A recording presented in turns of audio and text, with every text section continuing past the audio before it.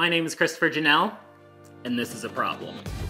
Problem Solved is all about taking common problems and finding surprising solutions. You might be wondering how much it costs to fix your stand mixer. Well, only 10 cents.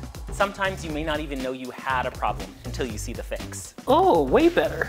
If your oven looks like this, you're due for a deep clean. Accidents happen, but here's how to clean things up. I have something you can do with your extra fruit and vegetables before they spoil. These aren't just hacks, they're helpful tips that you can use every day. Get some tongs and a sponge. I know your blinds are dirty. To get every nook and cranny clean, all we need is a few brushes. Apply the toothpaste to the plastic in small circular motions. Oh yeah, that's working. I want you to learn something new and have a great time along the way. This really is so satisfying. Oh yeah, that is so good. I'm so excited.